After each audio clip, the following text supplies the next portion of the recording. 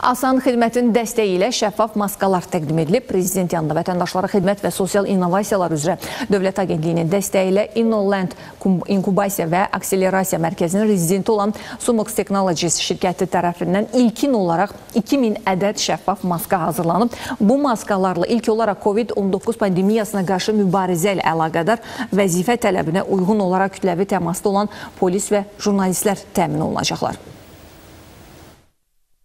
Növbəti hazırlanacaq e, deməli maskalar artıq digər dövlət qurum əməkdaşlarına və vətəndaşlarımızın alışı üçün açıq satışa təqdim olunması planlaşdırılır. Qeyd etmək istərdim ki, insan həyatı üçün tam təhlükəsiz olan və ekoloji cəhətdən e, təmiz olan bu məhsullar 3D printer vasitəsilə hazırlanmış və hava vasitəsilə keçə biləcək viruslara qarşı müdafiə qismində nəzərdə tutulmuşdur.